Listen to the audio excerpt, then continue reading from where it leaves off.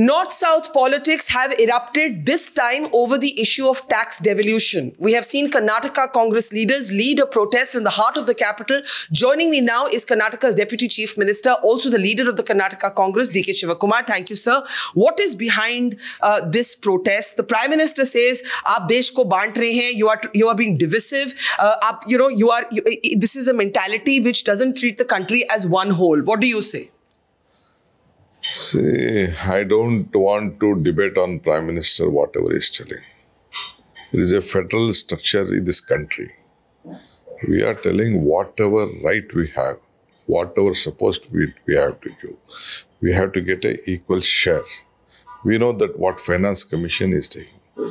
Nirmala Sitaram is telling that she doesn't have any powers above the Finance Commission.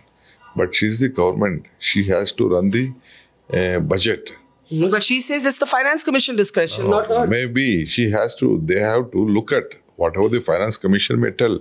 Ultimately, it is the government which has to give proper this one. See, for example, mm-hmm. we are asking, we have more than 200 taluks drought this year. Is it not the duty of the central government to have a meeting and give us compensation the drought?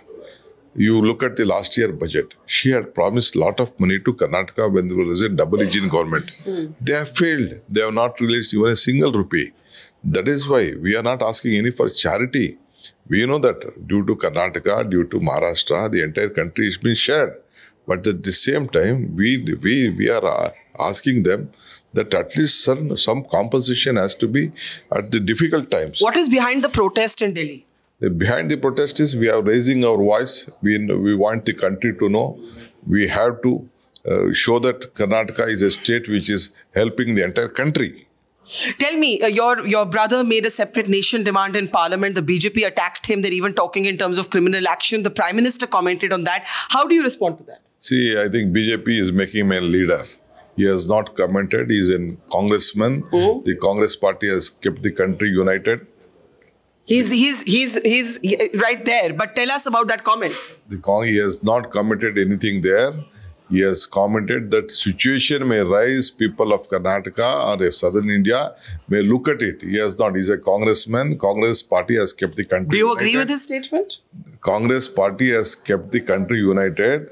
He has not made a statement. It is the BJP. He said a situation may come when the South may be talking about a separate nation. Definitely people think on it. People think on it. So we should Isn't not, that a divisive statement? We should not give an opportunity. We all are telling that country is united. We want to keep it united.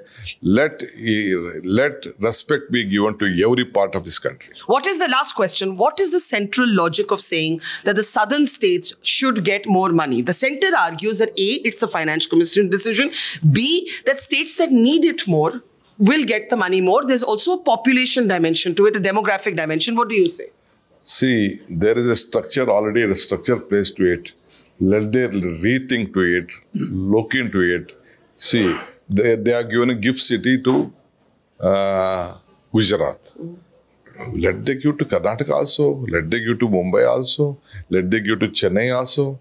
We'll also create a gift city lot of uh, uh, facilities will be there, lot of exemptions will be there. We are also capable of forming 100 gift cities in the country.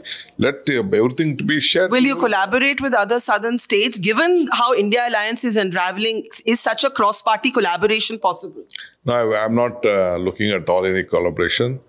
A Congress party is a national party which has its own basic principles and ethical values. We continue on it. Thank you, Mr. D.K. Shivakumar.